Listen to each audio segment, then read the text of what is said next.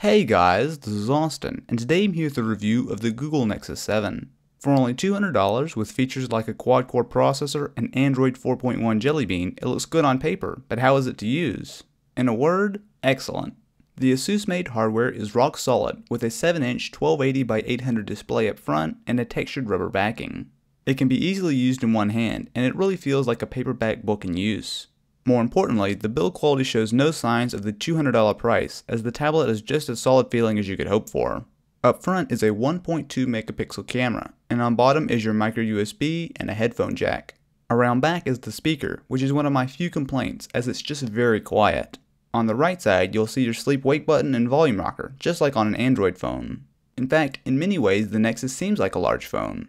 Android 4.1 Jelly Bean trades some tablet features for a more typical Android experience, for example, you can't rotate the home screen, and many apps default to a normal phone UI, such as Twitter. This isn't really a bad thing though, as the 7-inch size isn't that much larger than phones like the Galaxy S3, and it means that in many cases the lack of Android tablet apps doesn't matter at all. Jelly Bean as a whole is a major improvement over previous versions of Android. Polish is one of the big things Google worked on, and it shows. While not quite as smooth as iOS on the iPad, nonetheless it's leaps and bounds smoother than any other Android device out there. You'll also see Google Now. Google. How tall is the Empire State Building?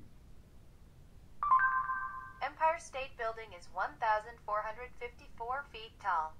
In some ways, it's like a much faster Siri, especially when asking for facts. It does have its limits, but overall Google Now is a solid addition.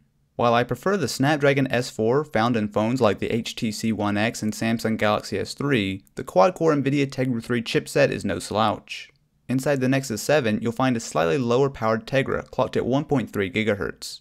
Don't let that put you off though, this little $200 tablet has more power than some laptops just a couple years ago.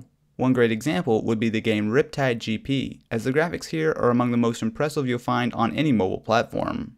Battery life is another high point. With basic usage like reading, web browsing, and watching video, you can expect to get between 8 and 9 hours out of a charge. Really tax the tablet with gaming and you can expect something closer to 5 to 6 hours. For a 7 inch tablet, I have absolutely no complaints here. There's a lot you can say about the Nexus 7. On one hand, the screen size definitely isn't for everyone, although personally it's the perfect size for me.